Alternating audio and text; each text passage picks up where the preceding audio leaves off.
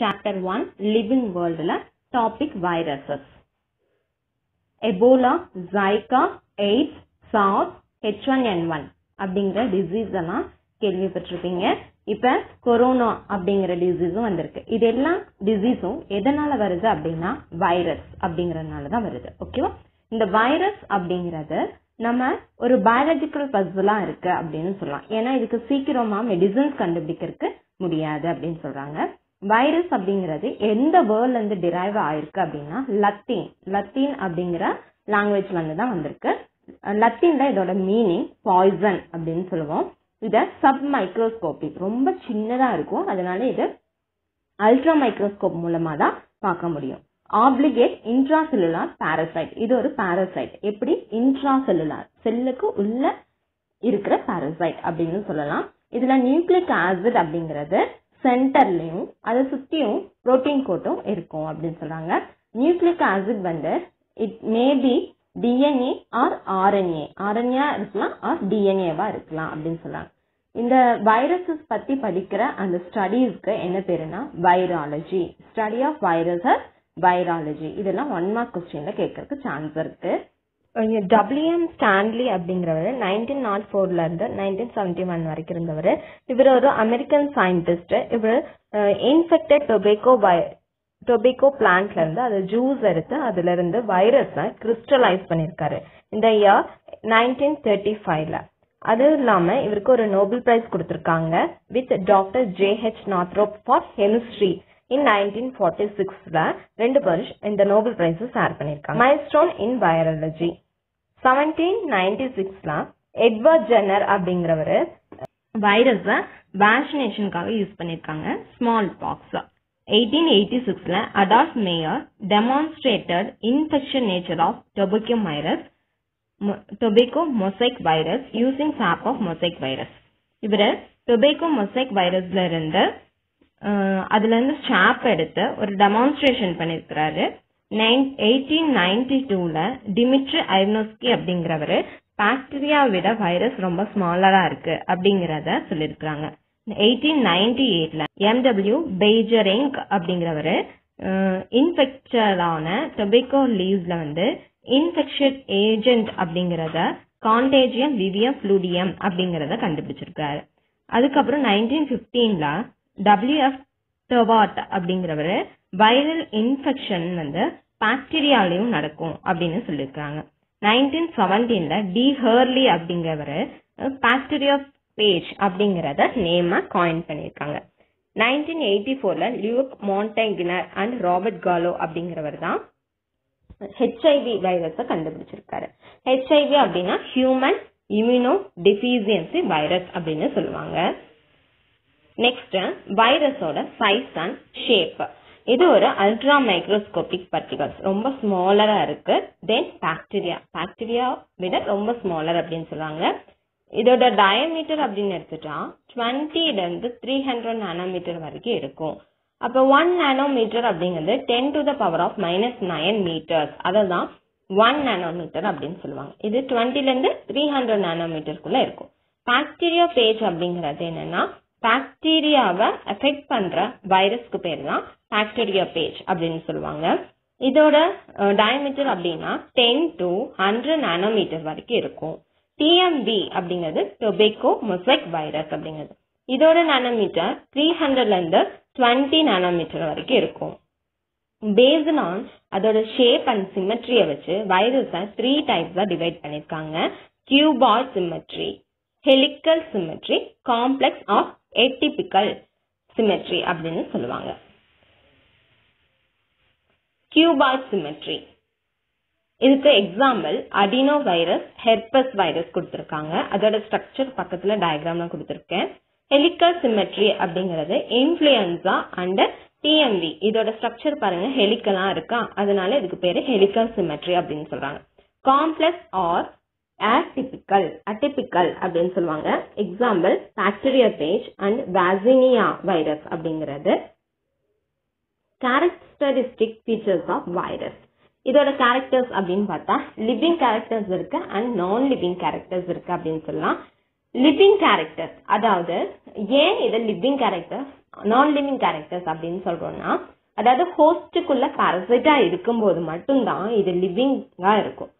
ஹோஸ்டுக்கு வெளியே இருந்துச்சுன்னா இது நான் லிவிங் திங்ஸ் அப்படின்னு சொல்லலாம். ஓகேவா லிவிங் கேரக்டர் அப்படின்னு பார்த்தா presence of nucleic acid and surrounded by protein கோட்டை ஓகேவா அப்புறம் கேப்பபிள் ஆஃப் மியூட்டேஷன் மியூட்டேஷன் அப்படிங்கிறது மாறும் திறன் அப்படின்னு சொல்லுவாங்க. அதோட நியூக்ளிக் ஆசிடை அப்பப்போ சேஞ்ச் பண்ணிட்டே இருக்கிறது தான் மியூட்டேஷன் அப்படின்னு சொல்லுவாங்க. Ability to multiply within living cells living செல்ஸ்குள்ள இருக்கும்போது அது மல்டிப்ளிகேஷன் ஆகும். ரீப்ரொடக்ஷன் நடந்து அதுல மல்டிப்ளை ஆகிட்டே இருக்கும் அப்படின்னு சொல்றாங்க. இது infect and cause disease in living beings living பீயிங்ஸில் தான் இன்ஃபெக்ட் பண்ணி அதை டிசீஸை காஸ் பண்ணுது அப்படின்னு சொல்கிறாங்க ஸோ இரிட்டபிலிட்டி அதாவது ஸ்டிமுலிக்கு ஏற்ற மாதிரி ரெஸ்பான்ஸ் பண்ணும் அப்படிங்கறத இரிட்டபிலிட்டி அப்படின்னு நம்ம படிச்சிருக்கோம். ஹோஸ்ட் ஸ்பெசிஃபிக்காக பிளான்ஸை இன்ஃபெக்ட் பண்ற வைரஸ் வந்து பிளான்ஸை மட்டும் இன்ஃபெக்ட் பண்ணும். அனிமல்ஸை இன்ஃபெக்ட் பண்ற வைரஸ் வந்து அனிமல்ஸ் மட்டும் இன்ஃபெக்ட் பண்ணும். அதனால இதுக்கு ஹோஸ்ட் ஸ்பெசிஃபிக் அப்படின்னு நெக்ஸ்ட் நான் லிவிங் கேரக்டர்ஸ் எதெல்லாம் நான் லிவிங் கேரக்டர்ஸ் நம்மளுக்கு ஹோஸ்டுக்கு வெளியே இருக்கும்போது அதுக்கு எந்த பேரசைட்டும் இல்ல அப்படின்னா அது ஹோஸ்டுக்கு வெளியே இருக்கும் அப்படின்னு அர்த்தம். அந்த அப்ப இருக்கும்போது அது நான் லிவிங் கேரக்டர்ஸ் தான் இருக்கும். அதெல்லாம் என்ன அப்படின்னா கேன் பி கிறிஸ்டலைஸ்டு அதை கிறிஸ்டலைஸ் பண்ண முடியும். ஆப்சன்ஸ் ஆஃப் மெட்டபாலிசம் செல்குள்ள எந்த ஒரு மெட்டபாலிசமும் கெமிக்கல் ஆக்ஷன்ஸ் எதுவுமே நடக்காது. Inactive outside the host ஹோஸ்டுக்கு வெளியே இருக்கும் போது அது ஒரு இன்ஆக்டிவா தான் இருக்கும். அந்த எந்த ஒரு ஆக்டிவேஷனும் செய்யாது. மூமெண்ட் எதுவுமே செய்யாது. Do not show functional autonomy ஓகேவா எனர்ஜி ப்ரொடியூசிங் என்சைம் சிஸ்டமும் இதுல ஆப்சண்டாக இருக்கும். Next classification of viruses David Baltimore அப்படிங்கிறவர் நைன்டீன் செவன்டி ஒன்ல இந்த கிளாசிபிகேஷனை கொடுத்துருக்காரு. இவர் எதை பேஸ் பண்ணி கிளாசிபிகேஷன் பண்ணிருக்காரு அப்படின்னா மெக்கானிசம் ஆஃப் ஆர்என்ஏ ப்ரொடக்ஷன் ஆர்என்ஏவோட ப்ரொடக்ஷன் நேச்சர் ஆஃப் ஜீனோம் அது சிங்கிள் ஸ்டாண்டர்டா இல்ல டபுள் ஸ்டாண்டர்ட் அப்படின்னு இருக்கு. ஆர்என்ஏ ஆர் டிஎன்ஏவா அப்படிங்கறதும் use of reverse transcriptase reverse transcriptase அப்படிங்கிறது ஒரு என்சைம் ஏஸ் அப்படின்னு முடிஞ்சாவே அது ஒரு என்சைம் அர்த்தம். சரியா? வைரஸ்ல இந்த ரிவர்ஸ் டிரான்ஸ்கிரிப்டேஸ் எங்க யூஸ் ஆகுது அப்படிங்கறத வச்சும். சிங் எஸ்எஸ் அப்படின்னா சிங்கிள் ஸ்டாண்டர்ட் அப்படின்னு பேரு. எஸ்எஸ் டி ஆர்என்ஏ அப்படின்னா சிங்கிள் ஸ்டாண்டர்ட் ஆர்என்ஏ ஓகேவா அது சென்ஸா ஆன்டி சென்ஸா அப்படின்னு. அதாவது அது வந்து அதோட இன்ஃபெக்ஷனை வெளிப்படுத்துறதா இருந்துச்சுன்னா அது சென்ஸ் அப்படின்னு. ஆன்டி சென்ஸ்னா அந்த மாதிரி வெளிப்படுத்தாது ஓகேவா நெக்ஸ்ட் வைரஸ் வைரஸ செவன் கிளாஸஸா டிவைட் பண்ணிருக்காங்க. Class one virus with DS டிஎஸ்னா double standard அப்படின்னு அர்த்தம். டபுள் ஸ்டாண்டர்ட் டிஎன்ஏ இருந்துச்சுன்னா அது டிஎஸ் டிஎன்ஏ அப்படின்னு சொல்றோம். எக்ஸாம்பிள் அடினோ வைரஸஸ் கிளாஸ் டூல virus with sense single standard DNA வந்துச்சுன்னா அது பார்வோ வைரஸ் அப்படின்னு சொல்றாங்க. கிளாஸ் த்ரீல virus with double standard RNA reovirus class four virus with sense single standard DNA sorry single standard RNA togaviruses அப்படின்னு சொல்றாங்க. Example class ஃபைவ்ல viruses with ஆன்டிசென்ஸா இருக்கு. சிங்கிள் ஸ்டாண்ட் சிங்கிள் ஸ்டாண்டர்ட் ஆர்என்ஏவா இருக்கு. இது ரோபடோ வைரஸ் அப்படின்னு சொல்றோம். கிளாஸ் சிக்ஸ்ல virus with sense single standard RNA reverse transcriptase இருக்கு. தட் ரெப்ளிகேட் வித் டிஎன்ஏ ஓகேவா இது எதை ரெப்ளிகேட் பண்ணுது? டிஎன்ஏவை ரெப்ளிகேட் பண்ணுது. Example retroviruses intermediate in life cycle class செவன்ல வைரஸ் வித் டிஎஸ் டிஎஸ்னா டபுள் ஸ்டாண்டர்ட் டிஎன்ஏ இதுல என்ன இருக்கு? Reverse transcriptive that replicate with RNA கூட ரெப்ளிகேட் ஆகுது. இன்டர்மீடியட் இன் லைஃப் சைக்கிள் அதாவது லைஃப் சைக்கிள் ஒரு இன்டர்மீடியட்டா வருது. இதுக்கு எக்ஸாம்பிள் ஹெப்பட் ஹெப்படானா வைரஸ் அப்படின்னு சொல்லுவாங்க.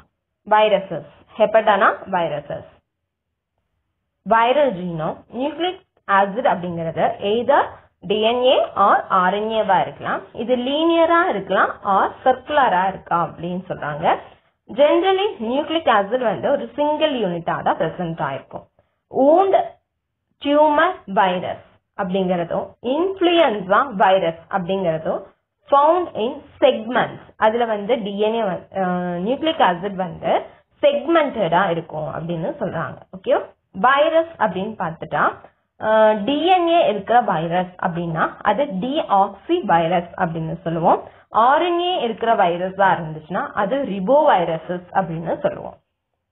அனிமல் அண்ட் பாக்டீரியா வைரஸ் வந்து அதோட அட்டாக் அனிமலையும் பாக்டீரியா செல்லையும் அட்டாக் பண்ற வைரஸ் வந்து மோஸ்ட்லி அதோட நியூக்ளிக் ஆசிட் வந்து டிஎன்ஏவா இருக்கும். ஓகேவா ஹெச்ஐவி அப்படிங்கிற அனிமல் வைரஸஸ் மட்டும் ஆர்என்ஏ இருக்கு அப்படின்னு சொல்றாங்க. பிளான்ட் வைரஸ்ல மோஸ்ட்லி பிளான்ட் அட்டாக் பண்ற வைரஸ் வந்து ஆர்என்ஏ நியூக்ளிக் ஆசிடா இருக்கும்.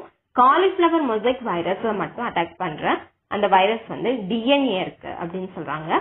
இதெல்லாம் ஒன் மார்க் கொஸ்டின்ல கேட்பாங்க. Basis of nature of nucleic acid அதாவது நியூக்ளிக் ஆசிடோட நேச்சர் அதாவது நேச்சர்னா அது டபுள் ஸ்டாண்டர்டா சிங்கிள் ஸ்டாண்டர்டா பொறுத்து கிளாஸிஃபை பண்ணிருக்காங்க. ஃபோர் டைப்ஸ் கிளாஸிஃபை பண்ணிருக்காங்க. சிங்கிள் ஸ்டாண்டர்ட் டிஎன்ஏ அப்படின்னா அதுக்கு எக்ஸாம்பிள் பார்வோ வைரஸஸ் கொடுத்துருக்காங்க டபுள் ஸ்டாண்டர்ட் டிஎன்ஏனா அதுக்கு எக்ஸாம்பிள் பாக்டீரியா பேஜ் அதுல வந்து டபுள் ஸ்டாண்டர்ட் டிஎன்ஏ இருக்கும். Single standard ஆர்என்ஏனா TMV tobacco mosaic virus double standard ஆர்என்ஏல wound tumour virus அப்படிங்கறது எக்ஸாம்பிளா